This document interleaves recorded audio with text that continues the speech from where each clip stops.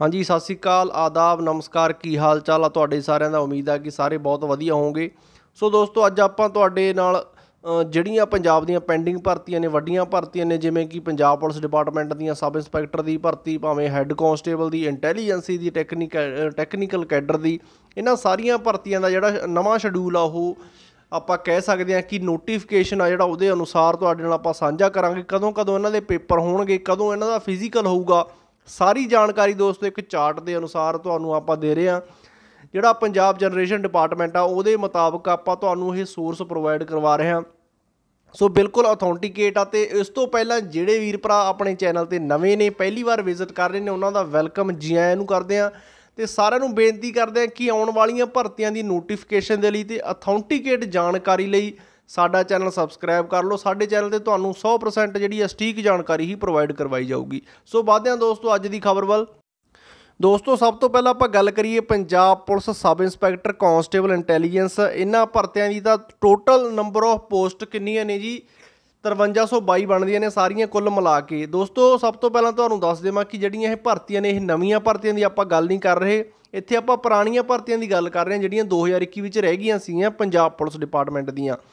ਕੁੱਲ ਮਿਲਾ ਕੇ 5322 ਪੋਸਟਾਂ ਬਣਦੀਆਂ ਨੇ ਤੇ ਇਹਨਾਂ ਨੂੰ ਐਡਵਰਟਾਈਜ਼ ਰੀਐਡਵਰਟਾਈਜ਼ ਕੀਤਾ ਜਾਊਗਾ according to Punjab EMPLOYMENT generation board ਦੇ ਮੁਤਾਬਕ, ਠੀਕ ਹੈ? ਕਿਉਂਕਿ ਇੱਕ ਨੋਟੀਫਿਕੇਸ਼ਨ ਜਾਰੀ ਕੀਤਾ ਗਿਆ ਸੀ, ਜਿਹਦੇ ਵਿੱਚ ਇਹ ਲਿਖਿਆ ਹੋਇਆ ਸੀਗਾ ਕਿ ਇਹਨਾਂ ਭਰਤੀਆਂ ਨੂੰ ਦੁਬਾਰੇ ਰੀਐਡਵਰਟਾਈਜ਼ ਕੀਤਾ ਜਾਊਗਾ।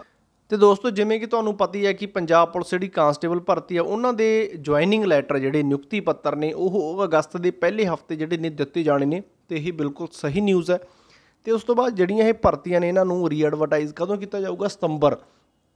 ਠੀਕ ਹੈ ਜੀ? ਤੇ ਫਿਰ ਇਹਨਾਂ ਦਾ ਐਗਜ਼ਾਮ ਤੇ ਜਿਹੜਾ ਰਿਜ਼ਲਟ ਕਦੋਂ ਹੋਣਾ? ਅਕਤੂਬਰ, ਨਵੰਬਰ ਤੱਕ ਸਾਰਾ ਕੰਡਕਟ ਹੋ ਜਾਊਗਾ।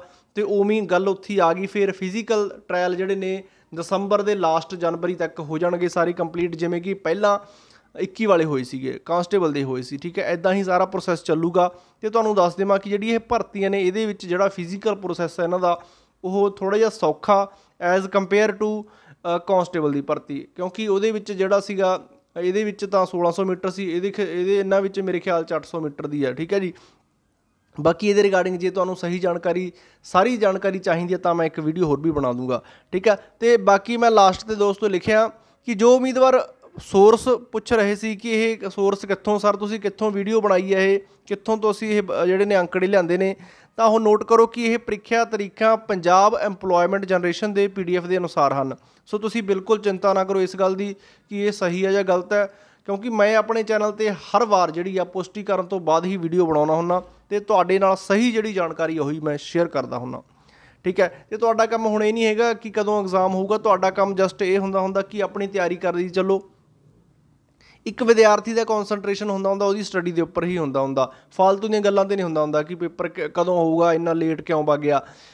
ਤੁਸੀਂ ਸਗੋਂ ਉਸ ਚੀਜ਼ ਨੂੰ ਪੋਜ਼ਿਟਿਵ ਵਿੱਚ ਲਿਆ ਕਰੋ ਕਿ ਜੇ ਥੋੜਾ ਜਿਹਾ ਲੇਟ ਹੋ ਗਿਆ ਤਾਂ ਸਾਨੂੰ ਤਿਆਰੀ ਕਰਨ ਦਾ ਵੀ ਸਮਾਂ ਤਾਂ ਮਿਲ ਗਿਆ ਨਾ। ਥੋੜਾ ਪੋਜ਼ਿਟਿਵ ਸੋਚਿਆ ਕਰੋ। ਬੱਚਿਓ ਐਦਾਂ ਸੋਚੋਗੇ ਤਾਂ ਹੀ ਜ਼ਿੰਦਗੀ 'ਚ ਪੋਸੀਬਲ ਜਿਹੜੀਆਂ ਤੁਹਾਨੂੰ ਚੀਜ਼ਾਂ ਨੇ ਤੁਹਾਨੂੰ ਸਫਲਤਾ ਜਿਹੜੀ ਆ, ਤੁਹਾਨੂੰ ਮਿਲੂਗੀ ਅੱਗੇ। ਨਹੀਂ, ਤੁਹਾਨੂੰ ਜਿਹੜੀ ਸਫਲਤਾ ਬਹੁਤ ਛੇਤੀ ਨਹੀਂ ਮਿਲਣੀ।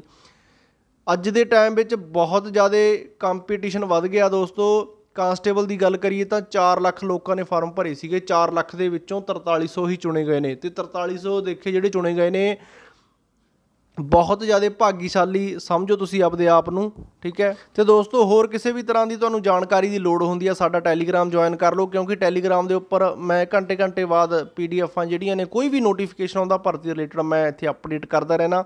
ਤੁਹਾਨੂੰ ਡਿਸਕ੍ਰਿਪਸ਼ਨ ਦੇ ਵਿੱਚ ਲਿੰਕ ਮਿਲ ਜੂਗਾ, ਤੇ ਟੈਲੀਗ੍ਰਾਮ ਦਾ ਤੇ ਇੰਸਟਾਗ੍ਰਾਮ ਦਾ ਵੀ ਲਿੰਕ ਤੁਹਾਨੂੰ ਮਿਲ ਜੂਗਾ। ਇੰਸਟਾਗ੍ਰਾਮ ਦੇ ਉੱਪਰ ਕੀ ਹੁੰਦਾ ਹੈ?